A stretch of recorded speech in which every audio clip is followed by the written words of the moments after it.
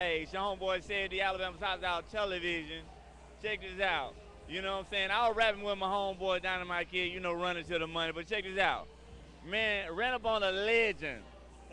You know what I'm saying? You know, I wanna I wanna tell my age, you know, I remember we was all in high school, but anyway, the legend, DJ Illie Ill is in the building. In the deck. In the deck now.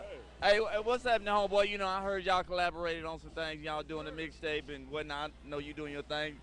Shout everybody out, you know what I mean? No doubt, man. It's your man Illie Ill. We getting ready to do big things, man. At JJ Evans, make sure you watch out for that. It's your boy Illie Ill. OG Bobby Johnson. So make sure y'all check it out, man. It's hitting the streets real soon, for sure. Hey, no doubt. Hey, besides besides uh, DJ Ilya, you are the Music director, assistant program director WEUP, man. We up.